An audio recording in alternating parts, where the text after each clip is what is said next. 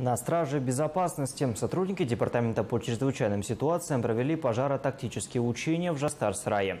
В ходе мероприятия был отработан план действий и соблюдены все правила безопасности. Подробнее в нашем следующем материале. Боевая готовность, слаженность действий и оперативность. Именно так выглядит работа сотрудников ДЧС. Эти качества они смогли продемонстрировать на учениях по ликвидации пожара. Их провели в одном из культурных объектов города – Дворце молодежи. Выбор места не случайен, говорят организаторы. Мероприятия с массовым скоплением людей здесь проходят довольно часто.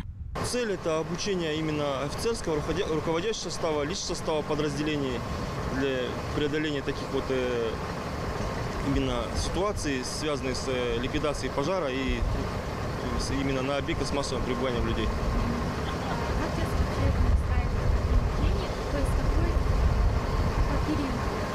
Ну, у нас, согласно графика, у нас идет почти каждый месяц. Э, именно в областном центре есть и в рай... Э, проводится и в районах Кустанайской области. Именно у нас есть свой график, который утвержден, утверждается с начала года именно по проведению учений, пожарно-тактических учений.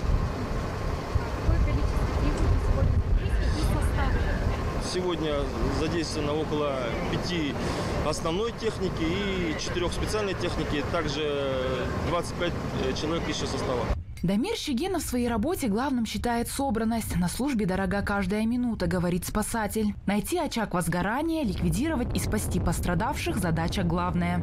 На данном объекте юбилейный, микрорайон юбилейный 56 был обнаружен очаг возгорания. Площадь 200 квадратных метров, примерная площадь. Работало звено номер один, звено номер два, звено номер три, звено номер четыре. Мы обнаружили, звено номер два обнаружили очаг возгорания в актовом зале.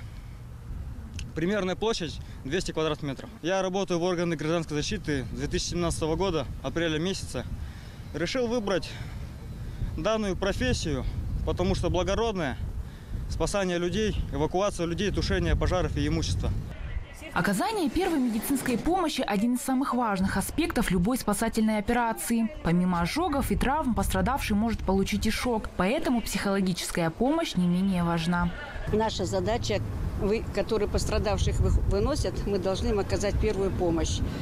Э, ну, бывает такие ситуации, что выносят уже с отравлением угарного газа. Бывает, если там уже обрушение произошло, плюс еще присоединяется к отравлениям, к ожогам и э, ушибы, там раны, переломы. Всякое бывает, поэтому и ИЧС называется. Но если выносят нам просто, ну, как пострадавшего, но он у нас живой, без сознания, то есть э, мы начинаем сразу подключать ему систему для того, чтобы обеспечить жизнедеятельность всех важных органов и систем. А если выносят уже без признаков жизни, мы, конечно, начинаем реанимировать.